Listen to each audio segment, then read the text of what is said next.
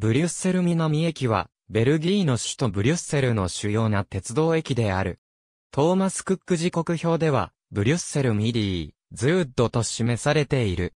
IATA コードでは、ジルと表されている。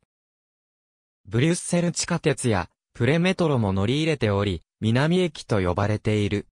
高い時計塔と丸天井が特徴的で入り口や旅客窓口などは大理石やフランスブリ地方のモザイクなどで覆われている。11面22線の地上駅。ブリュッセル地下鉄の駅は1988年に開業したシモニスからの2路線が乗り入れる終着駅として開業した。ブリュッセル地下鉄の路線は、その後、南駅から延長され1993年に、クレマンソー、2006年にドラクロワまで達している。駅は、クーベル通りの下に位置している。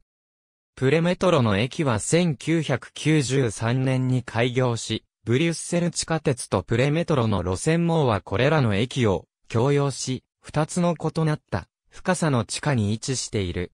また、地下鉄運行会社ミブブは2020年頃を目途として、ブリュッセル南駅とブリュッセルリュクサンブール駅間を地下鉄で結ぶ計画を立てている。当駅に発着する列車は1日あたり1000本ある。1日あたり平均25万人が利用している。当駅は周りを、フォンスニ通りが西側を、クベルト通りが北側へ、ベテリネール通りが南へ続いている。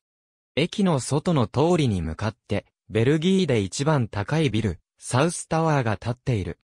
1990年代にユーロスターやタリスのターミナルがフランス通りに沿って追加された。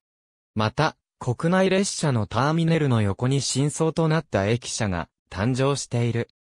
ブリュッセル南駅の元であるボガルド駅が1840年からブリュッセル市南部のプレースローッペ、ラププライン近くに存在していたがあまりに小さすぎたために29年後に取り壊された。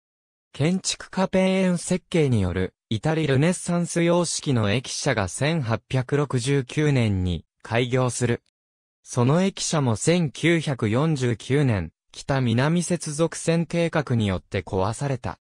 建築家、アドリエン・ブロンムと、息子のイヴァン・ブロンム、フェルナンプティによって、現在の駅舎が開業したのは1954年である。ありがとうございます。